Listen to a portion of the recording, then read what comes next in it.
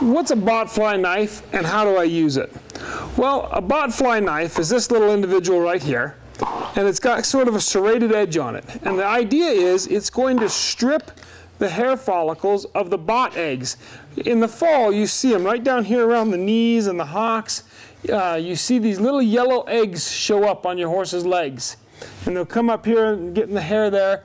And that's worm eggs. And what the horse will do is he'll turn around and lick those to get rid of them. And as he licks them, he absorbs the parasite, swallows the parasite, and continues the process in his stomach. So, of course, we all use a good strong dewormer, but another thing you can do for preventative maintenance is use the bot knife and just scrape those gently. You're not trying to cut the hide off of him. You're just scraping there gently, taking that those eggs off of that.